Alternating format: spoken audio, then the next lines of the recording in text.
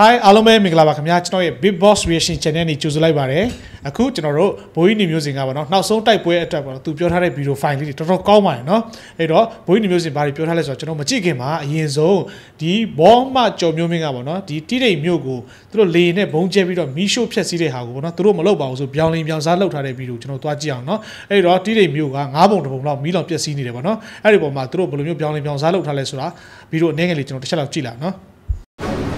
ဒီမတိုင်ကလေးကလည်းချင်းတဲ့နိုင်ငံဖွဲ့တွေကအတန်ပေးထားတယ်ချင်းပြည်နယ်တွေကသူတို့မြို့တွေတိတ်မယ်ပါညာပေါ့ဗျာဟိုတွန်းကြံတို့ជីခါတို့ကိုသူတို့ရအောင်ယူတယ်ယူပြီးတဲ့နောက်မှာအခုနောက်ဆုံးဘာဖြစ်လဲဆိုတော့တီးတိန်ကိုသူတို့ဆက်ပြီးတော့ခီးနေတယ်ပေါ့ဗျာတီးတိန်ကိုသူတို့ရအောင်ကြိုးစားတယ်ပေါ့ကိုမျိုးကိုယူရမယ်လေကြိုးစားတာကလွန်ခဲ့တဲ့ရသရဘတ်တွေကသူတို့ကတိုက်မယ်ဆိုတော့အတန်တွေကပေးထားပြီးသားအဲ့တော့တီးတိန်မြို့ပေါ်မှာရှိတဲ့မြို့မြို့မြို့လုံခြုံရေးကာဝယ်ကာဝယ်ရေးထမ်းဆောင်နေတဲ့အဲလုံခြုံလုံခြုံရေးနဲ့ကာဝယ်ရေးထမ်းဆောင်နေတဲ့တပ်မတော်နဲ့ရဲတပ်ဖွဲ့ကတော့ဒါ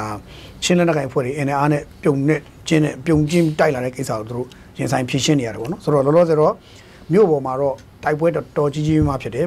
မြို့ပေါ်တော့ PDF အချင်း PDF ဖွဲ့တွေကမြို့ထဲတောင်စိတ်ဝင်ထိဖြစ်လာတယ်ပေါ့နော်တီတိမ်မြို့မြို့ထဲတောင်စိတ်ဝင်တဲ့ထိဖြစ်လာဖြစ်လာပြီးတော့မြို့ပေါ်မှာရှိရက်ကွက်အချို့နေရာတွေစိတ်ဝင်ပြီးတော့သူချင်းအချို့ကလည်းဒါသူတို့ချင်းလက်နက်ကိုင်ဖို့ထောက်ခံတဲ့ချင်းအချို့ကလည်းရှိတဲ့ခါကျတော့သူတို့ကလည်းမြို့ကန်နေဖြစ်နေအားပြုပြီးတဲ့ဟိုဝင်ကူပေးနေကြတဲ့ခါကျတော့မြို့ဒါကသူတို့မျိုးလေနော်သူတို့မျိုးမလို့သူတို့ကာကွယ်ရလေဟိုကတဖြည်းဖြည်းနဲ့တဖြည်းဖြည်းနဲ့အခုကျွန်တော်နောက်ဆုံးသိရတဲ့အခါကျမြို့ မြို့ရဲ့အာဘယ်လိုခေါ်မလဲငါးပုံတစ်ပုံလောက်ကမီးလောင်ပြီမီးလောင်မီးလောင်မီးလောင်နေပြီတော်တော်တိုက်ပွဲတွေရဲ့ကြရက်ပေါ့ဗျာအဲ့ဒါနဲ့မီးလောင်မှုတွေကြီးကျယ်ဖြစ်တယ်မြို့မြို့မှာရှိတဲ့ပြည်သူတွေရဲ့နေအိမ်တွေကတော့ပျက်စီးဆုံးရှုံးကုန်တယ်အဲ့ဒီမှာတော့ဟိုတော်တော်များတော့ပြောနေကြတယ်တိတိမြို့ပေါ်မှာဖြစ်တဲ့ဖြစ်စဉ်နဲ့ပတ်သက်ရင်တစ်ဖက်ကဒီ NUG ဘက်တော်သားထောက်ခံသူမီဒီယာအထူးသဖြင့်နောက်တစ်မျိုးပြောရင်တော့စစ်တပ်စစ်တပ်ဟိုမုံဒီဝါဒီစာရေးပြောင်းလင်းပြောင်းစားလို့တော့မုန်းကန်စိတ်တွေနေပေါ့နော်ရေးသားပေါ်ပြနေကြတဲ့အဲမီဒီယာတော်တော်တော်များကတော့ဒီမီလောင်မှုစစ်တပ်ကရှို့တာလို့ပဲပြောတယ်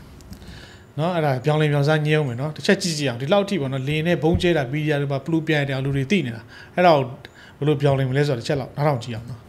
ဆိုတော့တခြားလုံးတည်ငြိမ်လာတာတခြားလုံးကစစ်တပ်ကမရှိဘူးအခု PDF ချင်း PDF နဲ့တိုက်ပွဲဖြစ်မှာစစ်တပ်ရှို့တာဆိုတော့ကဲစဉ်းစားကြည့်တော့စစ်တပ်ကရှို့ခြင်းအခုမှရှို့မလားဗျာခင်ဗျားတို့စဉ်းစားလို့ရတဲ့ကိစ္စပဲတခြားလုံးစစ်တပ်ကအဲ့မှာနေမီတည်ငြိမ်ရေးကာကွယ်ထမ်းဆောင်ထားတာပဲသူတို့နေမီတည်ငြိမ်အောင်ထိန်းထားခဲ့တာပဲအခုချင်းလက်နက်ကိုင်ဖွဲ့တိုက်တဲ့ခါကျမှ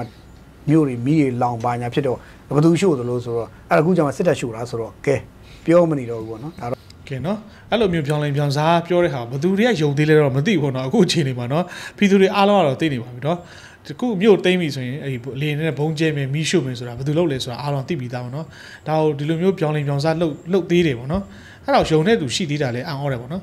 တော့ဒါတော့ကိုယ်ကြိုက်သလိုကိုရေးကြတာပဲကိုပြောချင်သလိုပြောနေကြရေးနေကြဆိုတော့ကျွန်တော်ထူးထူးခြားခြားပြောလို့သို့တော့ဂျားတဲ့ကဂျားတဲ့ကနေပြီးတော့ ဟိုဘာလဲဆိုတော့နာသွားတာတော့ပြည်သူတွေပဲပြည်သူတွေရဲ့အိမ်နဲ့ပျက်စီးကုန်တယ်တီးတိမ်မျိုးပေါ်မှာရှိရဲ့အဲပြည်သူတွေရဲ့အိမ်ပျက်စီးကုန်တယ်ရက်ကွက်၄ခုရှိတယ်တစ်ခုတစ်ခုကတော့တစ်ခုရဲ့တော်တော်များတော့ပျက်စီးကုန်ပြီပေါ့ဗျာနော်ရက်ကွက်၄ခုရဲ့တရားတစ်ခုကပျက်စီးကုန်ပြီလို့သိရတယ်ဆိုတော့တချို့ကတော့စစ်တပ်ကရှို့ပါတယ်လို့ပြောနေပေမဲ့အခြားတစ်ဖက်မှာတော့ချင်းပြည်တွေအချင်း PDF အဖွဲ့တွေကတိတိမျိုးရအောင်သိမ့်မယ်ဆိုတဲ့ရီမန်းချက်နဲ့ဒီလွန်ခဲ့တဲ့နှစ်ရက်လောက်ကတည်းကစိတ်ဝင်ပြန်နေပြီးတော့ဒီနေ့မှာတော့ကြီးကြီးမားမား တိုက်ပွဲဖြစ်တယ်တိတိနိုင်စင်တဝိုက်ဆိုရင်အကြီးကျယ်ဖြစ်တယ်တိုက်ပွဲတွေဒီညနေပိုင်းညနေပိုင်း၄နိုင်ခွဲ9နိုင်လောက်ထိကတော်တော်လေးပြင်းပြင်းထန်တိုက်ပွဲဖြစ်ပြီးတော့နောက်ဆုံးမှမီးလောင်မီးလောင်တာပေါ့နော်အဲဒီဖက်ချန်တွေမီးတော်တော်လောင်တယ်တိတိနိုင်စင်နဲ့ပတ်ချတဲ့တဝိုက်တွေမီးတော်တော်လောင်တယ်မီးလောင်တဲ့ဗီဒီယိုဖိုင်လည်းကျွန်တော်တို့မြင်ရပါတယ် Telegram တွေမှာ TikTok တွေမှာတက်လာတယ်ပေါ့နော်လေနဲ့ Facebook ဘုံမှာကျဲတက်တယ်လာနော်ပါတယ်အဲ့တော့ဒီတိမျိုးကတော့ဒီလိုမျိုးခံတိုက်ရင်ကြမယ်ဆိုရင်တော့တက်ကလည်းရဲအောင်တက်ကအောင်သူတို့ ခံတော့တိုက်မယ်ရသတော့သူတို့မျိုးထိမ့်မယ်မရရင်လည်းသူတို့ဆုတ်ခွာမယ်ပေါ့ဗျာဒါပဲရှိနှစ်လမ်းပဲရှိတယ်ရရင်တော့ထိန်းထားမယ်မရရင်ဆုတ်ခွာမယ်နှစ်လမ်းပဲရှိတယ်ဟိုဆုတ်ခွာပြီးတော့နောက်ဆုံးရှင်းပြရင်တော့ချင်းလက်နက်ကိုင်ဖွဲ့လက်ထက်မှာတိတိမျိုးကိုထားခဲ့တာလည်းဖြစ်နိုင်တာပဲဒါတစ်ချိန်ဖြစ်လာနိုင်တဲ့ကိစ္စတွေပဲဆိုတော့ဆိုတော့ပါဆက်ဖြစ်နေတာတော့မသိဘူးတိုက်ပွဲတွေကြီးကျယ်ဖြစ်နေတယ်မျိုးရဲ့ငါးပုံတစ်ပုံလောက်ကတော့တိတိမျိုးမှာပျက်စီးသွားပြီလို့ပဲပြောရပါတော့ဗောနော်အဲ့တော့နောက်ဆက်တွဲဒီမီးလောင်တဲ့ကိစ္စကိုဘယ်သူမီးငိမ့်ပေးမှလဲလို့မေးရင်တော့မိသက်တပ်ဖွဲ့ကိုသွားတာ မိသက်တပ်ဖွဲ့ကြီးကိုကူညီပါဦးလို့သွားអော်လို့တော့မရဘူးဘာကြောင့်လဲဆိုတော့မိသက်တပ်ဖွဲ့ကတော့ဒီကိစ္စမှာဝင်ပါပေးတဲ့အကြောင်းမရှိတော့ဘူးတိုက်ပွဲဖြစ်နေမှာတော့မိသက်တပ်ဖွဲ့သွားဘယ်လိုသွားသွားသွားညှိမ့်မလို့အဲ့တော့မီးလောင်ကမှမိသက်တပ်ဖွဲ့သွားသတိရပြီးတော့မီးမလောင်ခင်တော့မိသက်တပ်ဖွဲ့ကိုရန်ရှာပြီးတပ်ဖြတ်ဖို့ကြိုးစားခဲ့ရင်တော့လွဲနေပြီပေါ့ဗျာနော်ကဲနော်အဲ့ဒါမျိုးပြောင်းလင်းပြောင်းစားလုပ်တာနော်ဟုတ်ပြီဒါကြောင့်မင်းမင်းပြောင်းလင်းပြောင်းစားလုပ်တဲ့ဗီဒီယိုဖိုင်လေးဖြစ်ပါတယ်နော်နောက်ထပ်ကျွန်တော်တို့ဘိုးကြီးနေမျိုးစင်ပြောထားတယ်နောက်ဆုံးတိုက်ပွဲနဲ့ပတ်သက်တဲ့ဗီဒီယိုဖိုင်လေးချက်လောက်နောက်ထောင်ကြည့်အောင်နော် ပြီးခဲ့တဲ့ရပိုင်းတွေတော့တွင်ကျွန်တော်ရင်းဒီကရပြည်နယ်နဲ့ခီးထွက်စဉ်ကာလကတွေ့ကြုံခဲ့ရတဲ့ဖြစ်စဉ်တွေထဲမှာဘိုးကြီးနေမျိုးစင်ကင်မရာစိတ်ဝတိင်တ်စားစကောရာင်းဖြစ်နေလည်းကောင်းတယ်နော်စိတ်မကောင်းဖြစ်စရာလည်းကောင်းတာတွေလည်းအများကြီးတွေ့ရပါတယ်ခီးတွေအများကြီးတွားနေလို့ကျွန်တော်ချစ်တော်မိတ်ဆွေများကိုအဲအရင်လိုအပုံမှန်တင်ဆက်မှုတွေသုံးသက်ချက်တွေမတင်ပြနိုင်တာခွင့်လပါလို့တောင်းပန်ပါတယ်အဒီနေ့2024ခုနှစ်မေလ29ရက်ညခင်းဖြစ်ပါတယ် အဲ့တော့ပြီးခဲ့တဲ့ရက်တွေကျွန်တော်ခီးတွေသွားတော့အတော်နဲ့ခုံခုံကြီးထဲမှာပေါ့ခက်ခဲစွာကားကားအဆုပ်တွေနဲ့ပေးညစ်ပတ်ပြီးတဲ့နေထိုင်နဲ့ခီးသွားလာကြတဲ့အထက်မှာလူငယ်တွေအများကြီးတွေ့ရပါတယ်။များသောအားဖြင့်လူငယ်တွေကတော့မြေပြန့်မျိုးပြတွေကနေပြီးတော့ကျွန်တော်တို့လူမျိုးခရနီဒေတာကိုအဲခက်ခဲကြမ်းတမ်းစွာထွက်ခွာပြီးပူပေါင်းလာကြတဲ့တော်လိုင်းရေးသွေးတစ်လောင်းလာတော့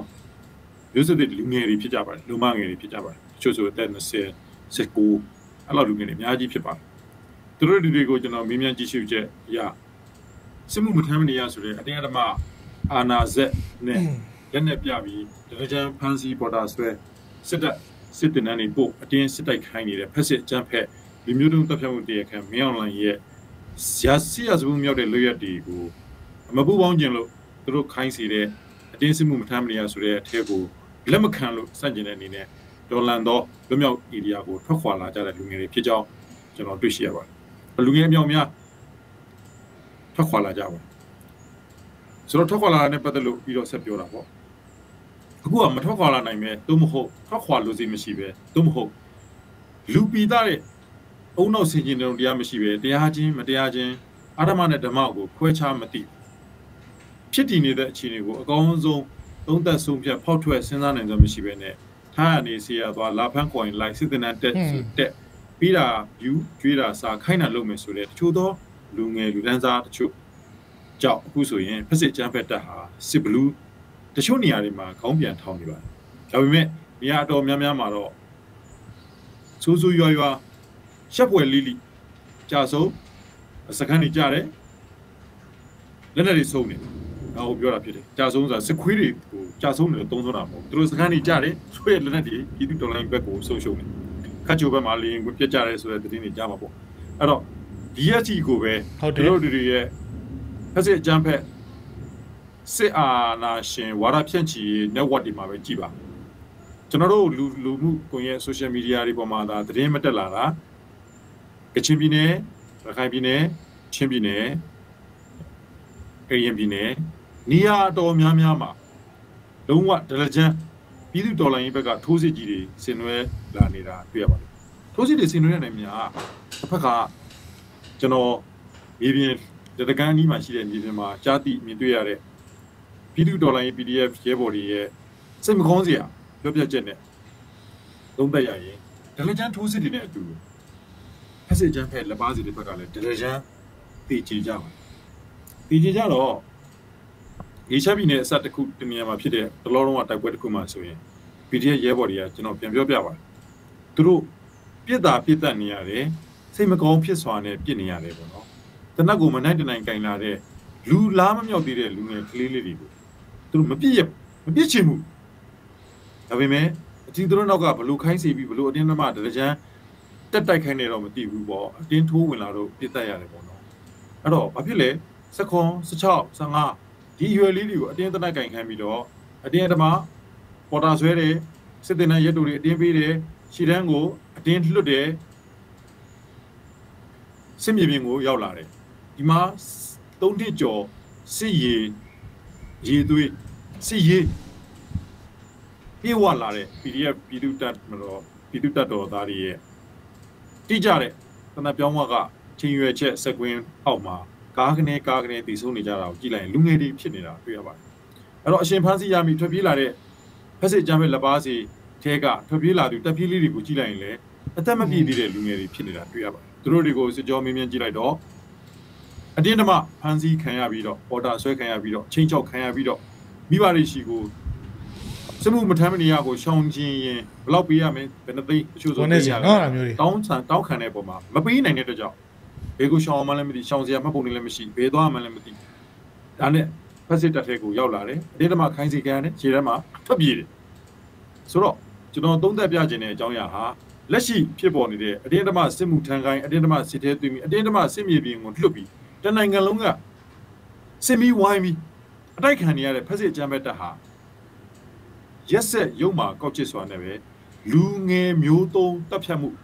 ကျူးလွန်နေတယ်ကျွန်တော်ပြောချင်ပါတယ် လူငယ်နိုင်ငံအနာဂတ်ကိုဆက်လက်ပခုံးပြောင်းတာဝန်ထမ်းဆောင်ရမယ်လူငယ်တိုင်းပြည်ရဲ့အဖိုးမဖြတ်နိုင်တဲ့နော်ဘလို့မှအစားထိုးမရနိုင်တဲ့တင်ဇာတလူငယ်ကျွန်တော်တို့မျိုးဆက်ဟောင်းတွေကိုနော်အသက်အရွယ်ကြီးရင်းတဲ့ချိန်မှာ EACC နူးနူးထွထွထားနိုင်မဲ့အချိန်ဒီနိုင်ငံရေးစနစ်ကိုဖန်တီးနိုင်မဲ့လူငယ်ကဘာမှာကျွန်တော်တို့ပြည်တော်စုနိုင်ငံတော်ကိုလူရဝင်အောင်ဆက်လက်ထမ်းဆောင်နိုင်မဲ့လူငယ် ရွက်ဖူးရွက်နုရွက်သိက်ကလေးတွေကိုရဲရဲဆက်ဆက်ခူးချွေနေတဲ့ရဲရဲဆက်ဆက်ချွေနင်းနေတဲ့ချွေချနေတဲ့ဖက်စစ်အကြမ်းပဲတိုက်ခဲ့လို့ရဟာမင်းအွန်လိုင်းရဲ့လို့ရဟာလူငယ်မျိုးသုံးတပ်ဖြတ်မှုကျူးလွန်နေရရောက်တယ်လို့ကျွန်တော်စစ်သားဟောင်းတယောက်ကသုံးသပ်ချင်အဲ့တော့ကပရာဇဝမှုစုံစမ်းတဲ့အဖွဲ့အစည်းတွေလူခွင့်အဖွဲ့တွေကလေးသူငယ်အဖွဲ့အစည်းတွေနိုင်ငံတကာကလူခွင့်လူခွင့်လို့တွင်တွင်អော်နေတဲ့အဖွဲ့အစည်းတွေ လက်ရှိမြေပြင်မှာမြောက်များစွာတစ်ဖက်ကပေါ့ကျွန်တော်တို့ဘက်ကတော့မြင့်မြတ်စွာပေးဆက်ဆွန်းလို့ကြာဆုံးတယ်အစစ်ကြားပဲလက်ပါစီတွေအောက်မှာတိတ်ဆုံးနေတဲ့လူငယ်တွေကြည့်လိုက်လူငယ်တွေကိုညှိုးသုံးအောင်ရက်ဆက်တဲ့တနိုင်ငံလုံးနဲ့ချီတဲ့ပြည်သူကိုစစ်ကြင်ညာပြီးတိုက်ခိုက်နေတဲ့အကြမ်းဖက်ဖက်စစ်စစ်ရဇဝဲကောင်မင်းအောင်လည်းရဲ့လုပ်ရက်ကိုဝိုင်းဝန်းတားဆီးထိမ့်ချုပ်ရေးယူဖို့ချိန်ကြရောက်ပြီလို့ကျွန်တော်တော့ယူဆပါတို့တော့ ရခိုင်ပြည်ပမှာဖြစ်လာတဲ့ရိုဟင်ဂျာရခိုင်ကတော့ကျွန်တော်တို့ဘင်္ဂလီလို့ခေါ်ခဲ့ပူးပါတယ်ရိုဟင်ဂျာမျိုးနွယ်စုတွေနဲ့ပတ်သက်တဲ့ပြဿနာကိုနိုင်ငံတကာကအာယုံစိုက်လာသည့်ဤသူကျွန်တော်တို့မြန်မာတပြည်လုံးကတိုင်းရင်းသားလူငယ်ဒုတွေအတင်းအဓမ္မတကြံဖန်စီစစ်မှုမထမ်းမနေရစစ်တဲ့အတင်းသိမ်းပြီးအတင်းသေးခိုင်းနေတဲ့လူငယ်မျိုးသုံးတပ်ဖြတ်မှုတရားခံရခင်အာရဂန်ဒေသကရိုဟင်ဂျာတွေကိုရရဆက်ဆက်ရောင်လုံးကျမီးရှို့ တပ်ဖြတ်ခဲ့တဲ့လူမျိုးတုံးတပ်ဖြတ်မှုအဖြစ်နိုင်ငံတကာတရားရုံးတွေကတရားစွဲခံထားရတဲ့လူမျိုးသုံးတပ်ဖြတ်မှုတရားခံမင်းအောင်လှိုင်ရဲ့လွရက်တွေကိုယခုထက်ပိုပြီးဆက်လက်ခွင့်လွတ်စောင့်ကြည့်နေဖို့ဘလို့မဖြစ်သင့်တော့ဘူးလို့ကျွန်တော်တို့လူငယ်တွေကျွန်တော်တို့နိုင်ငံသားတွေသုံးသပ်မိပါပြီစိတ်မကောင်းဖြစ်ပါတယ်လို့စိတ်ပူပါတယ်လို့ကြေညာချက်တွေထုတ်ပြန်ရုံနဲ့မလုံလောက်တော့ဘူးလို့ကျွန်တော်တို့ယူဆပါတယ်အဲ့တော့ကျွန်တော်တို့မြေပြင်မှာ ဒေါ်လာရင်းဖွဲ့တွေတိုင်းသားဖွဲ့တွေအားလုံးပေါင်းဆက်စုစည်းပြီးတရားလဲပြည်မယ်ဒါလဲရှိတယ်ကျွန်တော်တို့တွေအားလုံးစ조사ပြီးဖက်စစ်အကြမ်းဖက်စနစ်လုံးဝအမြင့်ပြုတ်ဖယ်ရှားနိုင်ပြီကြည့်ဆက်လက်စ조사သွားကြပါမယ် ကောင်းတယ် အခု နော် ဒီကျွန်တော်ရောက်ရှိနေတဲ့တိုင်းသားဒေသမှာပြည်တော်စုတရားလုံးအရေးနဲ့ပတ်သက်ပြီးနက်နက်နဲနဲအရှိမျောမြင်တွေးဆချိကပ်နေသောတော်လိုင်းကောင်းဆောင်လက်နက်ကင်တပ်ဖွဲ့ဝင်အားလုံးကိုလေးစားစွာချီးကျူးကုန်ပြုပါတယ် မိမိတို့မျိုးနွယ်စုတစ်ခုအတွက်မိမိတို့နေရာကုတ်ကုတ်တစ်ခုအတွက်ရည်စူးစ조사နေစေရှိသောပုံပုံများကိုလည်းပဲမြတ်တော်တကန်းမကြည့်ပဲနဲ့မျက်စိတစ်စုံကြည့်ပြီးပြည်တော်စုတရားလုံးမှာဖက်စစ်ဝါဒဖက်စစ်စနစ်လုံးဝကင်းစင်မှပြည်တော်စုရဲ့နေရာမလတ်အားလုံးအေးချမ်းမယ်ဆိုတဲ့အတွေးဝင်စေခြင်းတဲ့အတွက်ပြည်တော်စုတရားလုံးဖက်စစ်စနစ်ကင်းစင်ရေးအတွက်ကိုပဲပေါင်းဆက်ဆောင်ရွက်တဲ့မဟာဗျူဟာတွေချမှတ်ဈေးလိုပါတယ် CDM တွေဗက်ပြောင်းသူတွေအကြောင်းမျိုးမျိုးကြောင့်အတင်းတမဖမ်းဆီးစစ်ထဲသွင်းခံရပြီးထွက်ပြေးလာတဲ့ထွက်ပြေးသူတုံပန်းတွေဒါတွေအားလုံးကိုခုချိန်မှာကျွန်တော်တို့ဟာရန်သူရဲ့လို့သဘောမထားဘဲနဲ့မိမိတို့ပြည်တော်စုနိုင်ငံသားတွေရဲ့လို့သဘောထားပြီးဖက်စစ်ဝါဒကြာဆုံးရေးအတွက်ကိုပဲပေါင်းဆက်လက်တွဲကြိုးပမ်းဆောင်ရွက်သွားနိုင်ကြပါစေလို့ကျွန်တော်မျှော်လင့်ဆုတောင်းပါတယ်အဲ့တော့အဆုံးပိတ်လေးနဲ့ပြောရရင်စောစောအားဒီမဲ့ကျွန်တော်ရဲ့လေးစားသော လူငယ်ခေါင်းဆောင်ဂရနီဘီရဲ့အငယ်ဆုံးစီရေးခေါင်းဆောင်တယောက်ဖြစ်တဲ့ဟိုခူရီတူကကူညီတောင်းပါတယ်အတင်းတမဖန်စီစစ်မှုမထမ်းမနေရမိတ်ကြောင့်မြမြောက်နေမျိုးကိုထွက်ခွာလာတဲ့လူငယ်ပေါင်းသိန်းချီရှိနေတဲ့ထဲကမှနေရာနဲ့နေရာတိတိမှာစစ်ပညာတွေကိုတင်းဖက်စစ်စနစ်မြမမြေကကင်းစင်အောင်ဒီကျိုးပမ်းမယ်ဆိုတဲ့တော်လန်သောမျိုးဆက်သစ်တွေအတွက်ပြည်သူရဲ့ထောက်ပံ့ကူညီမှုတွေအစောတလင်အရေးကြီး ထပ်မံလိုအပ်နေပါတယ်။ရာပေါင်းများစွာသောတော်လန်ရေးတပ်သားတစ်တွေအတွက်စီနူဖောင်းတွေတင်တဲ့အတွက်လိုအပ်တဲ့ထောက်ကူတွေကိုမျှကူပေးဖို့ကျွန်တော်ကိုမြေတားရိုက်ခံပါတယ်။ရာပေါင်းများစွာလို့ဆိုတဲ့အတွက်ကြောင့်သူတို့တော်လိုင်းတပ်ဖွဲ့အများအများရှိတဲ့နဲ့ပြည်သူလူထုတွေသုံးနှစ်ကျော်ကြာလာဒီဒီထိဝိုင်းဝန်းထောက်ပံ့ကူညီခဲ့ရလို့စစ်ပန်းပင်ပန်းနေသည့်အနဲ့မပြီးဆုံးသေးသောခီးတွေကျွန်တော်တို့ပင်ပန်းလက်စချွေးရွှဲလက်စနဲ့ဆက်လက်ခီးဆက်ကြရမှာမလို့ ကျွန်တော်ကတော့ပြည်သူကျွန်တော်ရှီကိုပံ့ပိုးထားတဲ့ထဲကနေပြီးတော့ယူနီဖောင်းအစုံ30တိန်း30ပို့ပေးမယ်လို့ကျွန်တော်ညီလေးစားအပ်သောခုရီဒူးကိုခရီးပေးထားပါတယ်ဒါကကျွန်တော်ခုရီဒူးရဲ့တော်လိုင်းတပ်ဖွဲ့တစ်ခုအကြောင်းပဲထည့်ပြောတာဖြစ်တယ်ဒါပေမဲ့လက်ရှိဂရနီပြီးမအောင်ဂင်းပြီးမအောင်တကယ်အလုံးလုံးတကယ်ပြီးမှတိုက်ပွဲဝင်နေတဲ့တော်လိုင်းတပ်ဖွဲ့အမြောက်များဟာခုချိန်မှာခုချိန်မှာဆိုတဲ့စကားဟာအရေးကြီးလို့ပါခုချိန်မှာမိုးဝင်လာပြီဖက်စစ်ဂျမ်ဘတ်ရဲ့လေကြောင်းစိုးမိုးအကဲတာမှုရော့ကျလာပြီ ဖက်စစ်ဂျမ်ဘတ်ရဲ့ကျင်းချင်းကြုတ်ကြုတ်လေးဂျကုတ်ကြခဲနေရာယူထားတဲ့သူတို့ရဲ့စစ်စကန်ဒေသအချို့မှာသူတို့ရဲ့မြင်ကွင်းပိုင်ဆုံးမှုနေပယ်ပိုင်ဆုံးမှုကြုံလာရင်းမြင်းဘိုးဘိုးရာဒီဝင်တဲ့ကြောင့်သွားလာမှုကြုံလာဒီအချိန်တွေမှာနေမြေကန်လည်းဖြစ်ပြည်သူလူထုထောက်ခံမှုကိုလည်းအပြည့်အဝရရှိထားသူတော်လန်ရေးတပ်ဖွဲ့တွေရဲ့ဝိုင်းပတ်ပိတ်ဆို့ထားခြင်းခံရတဲ့ဖက်စစ်လက်ပါစီတွေအတွက်ကနည်းနည်းလေးပဲအသက်ရှင်ခွင့်ကြံတော့တယ် ဒီချိန်မှာပြည်သူတရားလုံးကတော်လိုင်းတပ်ဖွဲ့အားလုံးကိုတကယ်အလုံးလုံးတိုက်ပွဲဝင်နေသောတော်လိုင်းတပ်ဖွဲ့ဝင်အားလုံးကိုနောက်ဆုံးပိတ်အိတ်နဲ့လွယ်နော်နောက်ဆုံးပိတ်အိတ်နဲ့လွယ်နောက်ဆုံးထောက်ပေးပံ့ရတယ်ကူနော်ညီတွန်းအားပေးပြီးတက်နိုင်ရာကဝိုင်းဝန်းပူးပေါင်းဆောင်ရွက်ကြမယ်ဆိုရင်ရဲရဲပဲကြံတော့တဲ့ဖက်စစ်မင်းအောင်လိုက်ရုရှားနဲ့ဘယ်လာရုစ်မိတ်ဆာနှစ်နိုင်ငံလောက်ပဲထောက်ခံမှုရှိတော့တဲ့ဖက်စစ်မင်းအောင်လိုက်တရုတ်နိုင်ငံကအစ